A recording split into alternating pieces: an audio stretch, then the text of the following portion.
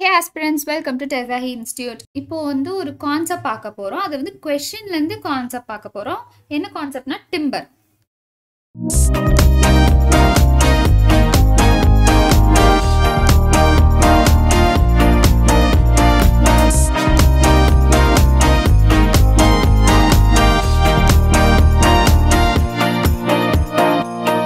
First question Type of fungi feed on wood. During feeding, they attack on the wood and convert it to dry powder form. This is known as.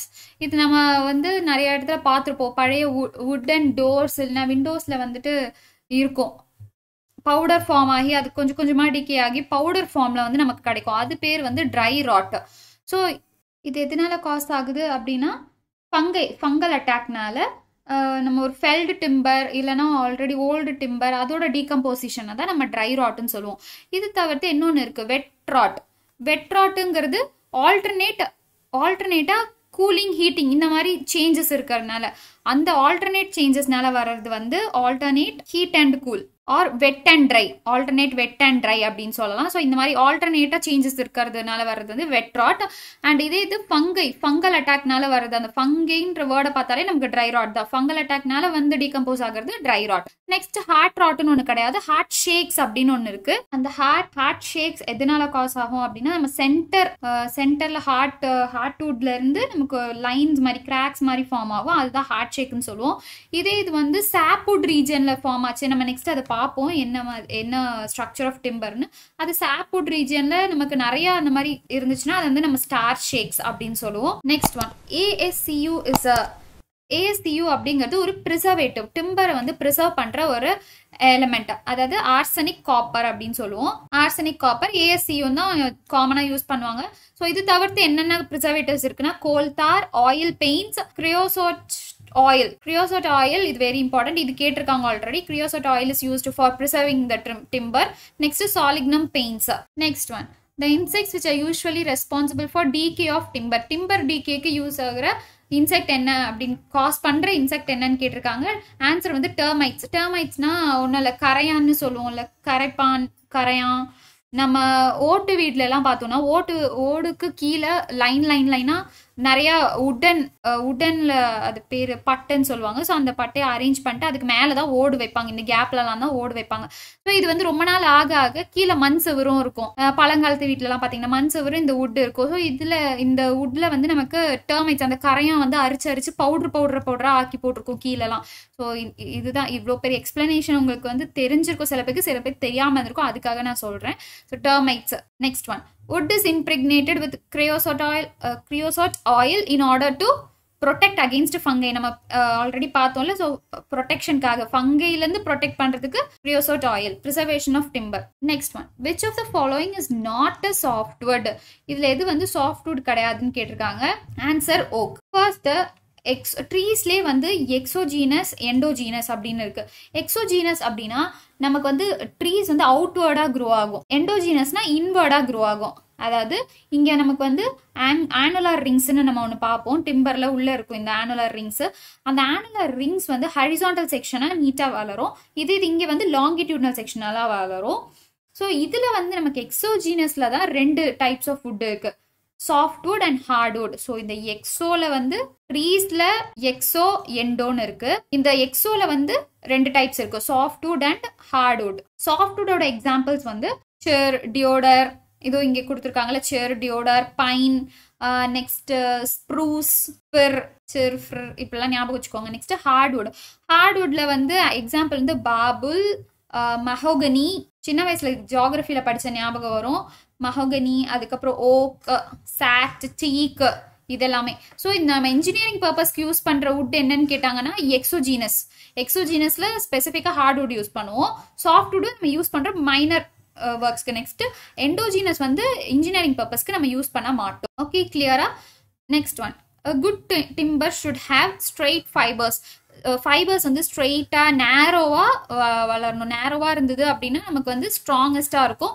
இதே இது பர்பண்டிகுலராக இருக்கக்கூடாது அப்படின்னு சொல்லுவாங்க. பர்பண்டிகுலராக grains வந்து arrange ஆகிருக்கக்கூடாது அப்போ நமக்கு ஸ்ட்ராங்கஸ்ட்டாக இருக்காது வீக்கஸ்ட்டாக இருக்கும் அப்படின்னு சொல்லுவாங்க. ஸோ வீக்கஸ்ட்னா பர்பண்டிகுலராக கிரெயின்ஸ் அரேஞ்ச் ஆகிருக்கும் ஸ்ட்ராங்கஸ்ட்னா நேரோவாக ஸ்ட்ரெயிட்டாக அரேஞ்ச் ஆயிருக்கும் next one dash of the pieces of timber which extend from eaves to edge ஈவ்ஸுங்கிறது ஒன்றும் இல்லை. நம்ம ரூஃபோட எட்ஜிலேருந்து வெளியே இருக்கிறது தான் நம்ம ஈவ்ஸ்ன்னு சொல்லுவோம். ஸோ அந்த ஈவ்ஸ்லேருந்து ரிட்ஜுக்கு இந்த ரிட்ஜுக்கு வந்து வெளியே போகுதுல இதோட இந்த பார்ட் வந்து எது அப்படி என்னன்னு கேட்குறாங்க ஆன்சர் வந்து ராஃப்டர் இந்த மொத்த இதுவுமே வந்து நம்ம ராஃப்டர் அப்படின்னு சொல்லுவோம். Next one which of the following is not an application of timber so timber வந்து விண்டோஸ்க்கு ஃபர்னிச்சருக்கு டோர்ஸ்க்கு யூஸ் பண்ணுவோம் ஹார்ட்வேருக்கு யூஸ் பண்ண மாட்டோம். ஆன்சர் இஸ் ஆப்ஷன் டி அடுத்தது seasoning of timber is required to first seasoning அப்படின்னா என்னன்னா நம்ம வந்து டிம்பர்ல வந்து ஒரு மாய்ஸ்சர் கண்டென்ட் கண்டிப்பா இருக்கும். நம்ம என்னதான் ட்ரீட் பண்ணி ஃபுல்லா பண்ணாலும் அந்த ஃபுல் மாய்ஸ்சர் கண்டென்ட்டை எடுத்தால் தான் நமக்கு அச்சீவ் பண்ண முடியும் ஸ்ட்ரென்த்தை அதுக்காக பண்ற ப்ராசஸ் தான் சீசனிங் ஸோ நம்ம வந்து water content moisture content water கண்டென்ட்னு சொல்ல முடியாது மாய்ஸ்சர் அந்த மாய்ஸ்சர் கண்டென்ட்டை வந்து நம்ம ரிமூவ் பண்றோம். ரிமூவல் ஆஃப் மாய்ஸ்சர் கண்டென்ட்டை தான் நம்ம வந்து சீசனிங் அப்படின்னு சொல்லுவோம். So remove sap from the timber சாப்புங்கிறது ஒன்றால மாய்ஸ்சர் கண்டென்ட் அதை தான் நம்ம வந்து சாப் அப்படின்னு சொல்லுவோம். டிம்பர் டேர்ம்ஸ்ல நம்ம சொல்லும்போது மாய்ஸ்டர் சாப்னு சொல்லுவோம். Next the formation of dull patches on the finished polished surface is called as இது வந்து டிம்பர்னு மட்டும் இல்லை ஜென்ரலாகவே ஒரு ஃபினிஷ்டு பாலிஷ்டு சர்ஃபேஸில் ஒரு டல் பேச்சஸ் இருந்துச்சுன்னா நம்ம ப்ளூம் அப்படின்னு சொல்லுவோம். ஸோ இங்கே பார்த்தீங்கன்னா டிம்பரில் வந்து ஒரு டல் பேட்ச் பேட்சாக நமக்கு பவுடரியாக இல்லாமல் பேட்ச் பேட்சாக அப்படியே அடர்ந்து வர்றதுன்னு சொல்லுவாங்க. நம்ம டேபிள் எல்லாம் பார்த்தோம்னா தெரிஞ்சிருக்கும். டேபிள்ஸில் வந்து அப்படியே அப்படியே அந்த வுட் அப்படியே பேந்து லேயர் லேயராக நமக்கு வரும். ஸோ அதை நம்ம வந்து ப்ளூம் அப்படின்னு சொல்லுவோம். அடுத்தது due to uneven shrinkage wood sometime flattens so uneven ஷ்ரிங்கேஜ்னால flatten ஆகிறத வந்து நம்ம என்னன்னு சொல்லுவோம் அப்படின்னா கொலாப்ஸ் அப்படின்னு சொல்லுவோம்.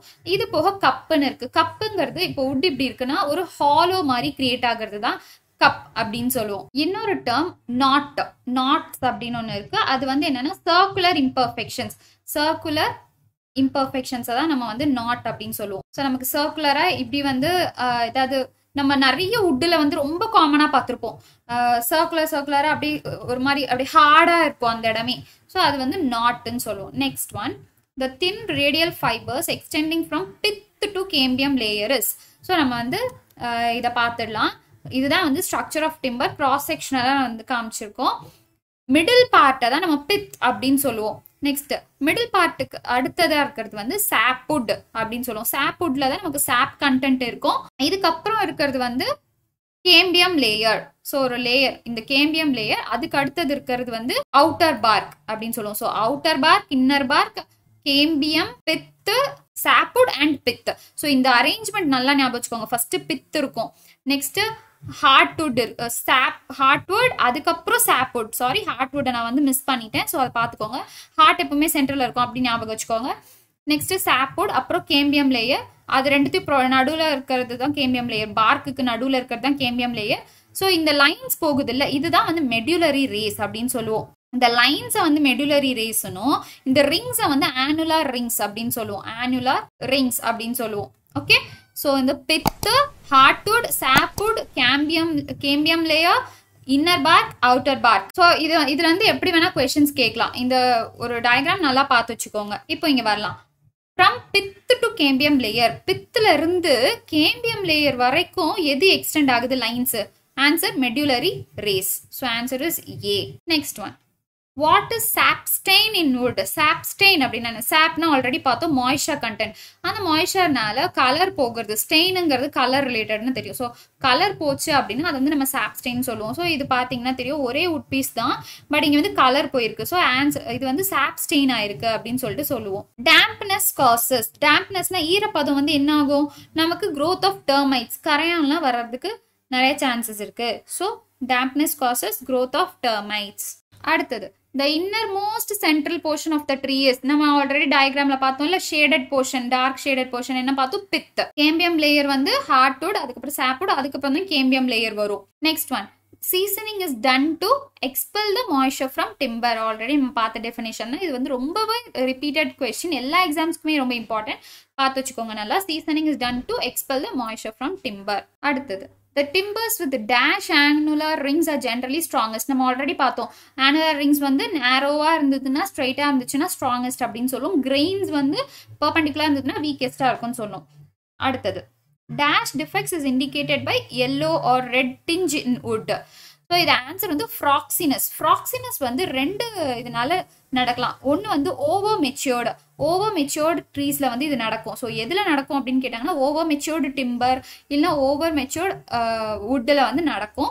நெக்ஸ்ட்டு இம்பார்ட்டண்ட் வந்து லேக் ஆஃப் வென்டிலேஷன் ஸோ ஒழுங்காக வென்டிலேட் பண்ணலை அப்படின்னாலும் ஒழுங்காக வென்டிலேட் பண்ணலன்னா ஃப்ராக்சினஸ் கிரியேட் ஆகும். ஸோ இதுவுமே இம்பார்ட்டண்ட் ஓவராக மெச்சூரான ட்ரீஸ்லாம் நடக்கும். ஓவர் மெச்சூரிட்டினால அண்ட் ஆர் லேக் ஆஃப் வென்டிலேஷனால நமக்கு ரெட் ஆர் எல்லோ டிஞ்சு வுட்டில் வந்து ஃபார்ம் ஆகும். இதை தான் நம்ம வந்து ஃப்ராக்சினஸ் அப்படின்னு சொல்லுவோம். ஸோ இதோட நம்ம ஓவராலாக பேசிக்காக டிம்பரோட சில கொஷின்ஸ் இம்பார்ட்டன்ட் கொஷின்ஸ் பார்த்தோம். அதோட கான்செப்ட்ஸும் அப்படியே லைனாக கொஞ்சம் கொஞ்சம் எக்ஸ்ட்ரா டேட்டாஸாகவும் கலெக்டிவாக பார்த்தோம். இப்போ நெக்ஸ்ட் வீடியோவில் பார்க்கலாம். தேங்க்யூ ஸ்டே டியூன் உங்கள் ஃப்ரெண்ட்ஸ்க்கெலாம் ஷேர் பண்ணுங்கள் தேங்க்யூ